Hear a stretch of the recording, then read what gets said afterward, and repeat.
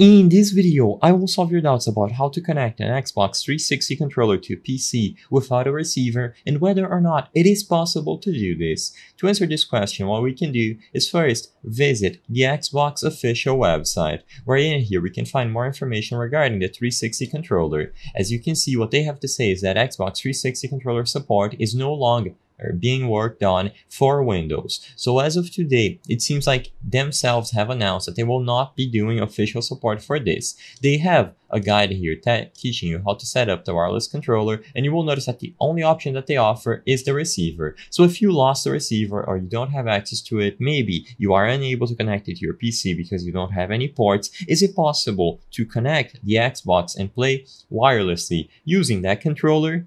Sadly, as it stands today, if you have a wireless Xbox 360 controller and you want to use it on your PC, the only way to do so is with the receiver. It is very unfortunate because that thing is prone to breaking often and sometimes you might have to keep buying multiple. If you weren't aware, you can find replacements for these receivers. So as you can see, here's an example. You simply have to go on websites like Amazon and look for the Xbox 360 desktop PC receiver and you will be able to buy a substitute for the one that you lost, broke, or it is not working and use the controller on your PC. Like I said previously, the only way to use that specific wireless 360 controller model on a PC is using a receiver. If you don't have a receiver anymore, you will not be able to connect the wireless standard official Xbox 360 controller.